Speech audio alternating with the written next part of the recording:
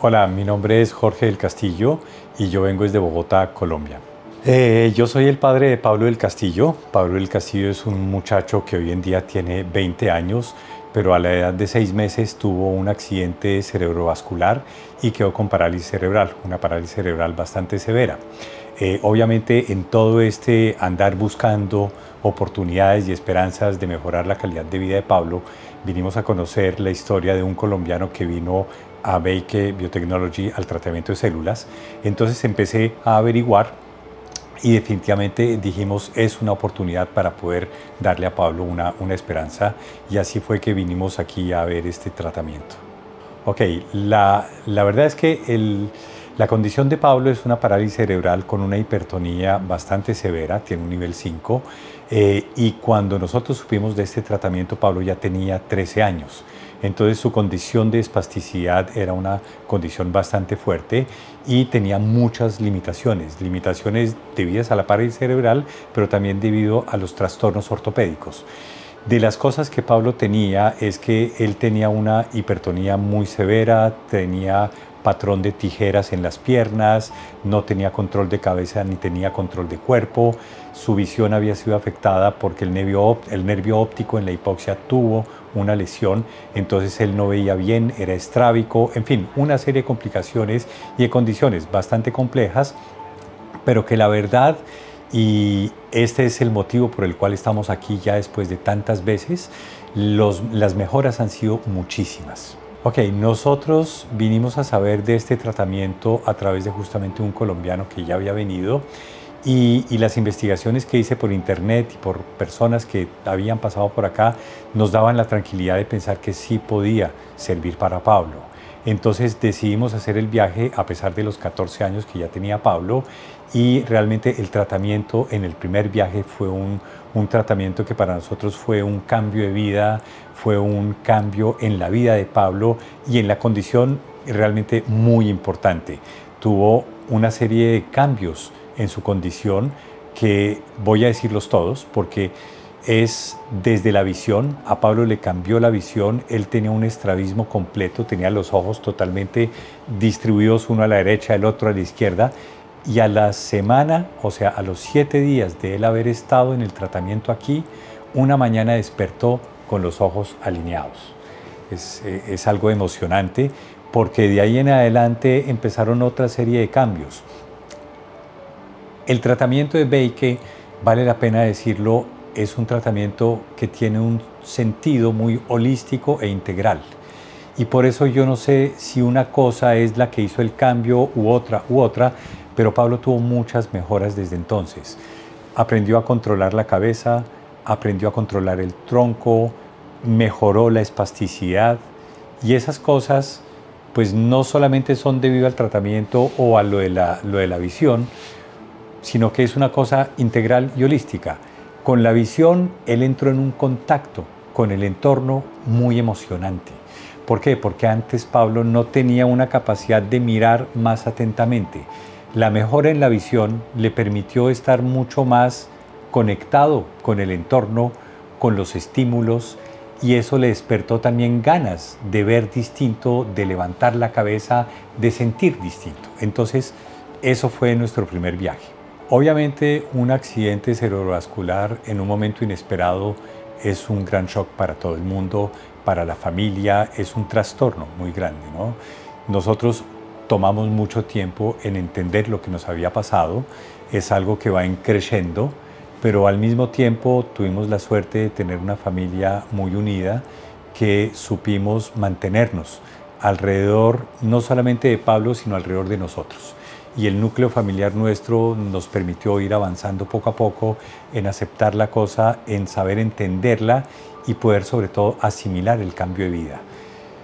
Hay una, hay una metáfora muy linda que a nosotros nos ha ayudado mucho y es que uno a veces va, hace la maleta, pone el vestido de baño, la camiseta, la bermuda y uno va a la playa. Y en el camino, el camino cambia y te lleva a la montaña. La historia para nosotros es que íbamos a la playa y terminamos en la montaña. La montaña también está bien también tiene cosas agradables. Entonces nosotros hemos aprendido a vivir con nuestra nueva vida, con una vida de sacrificios, pero también de muchas otras cosas muy, muy lindas.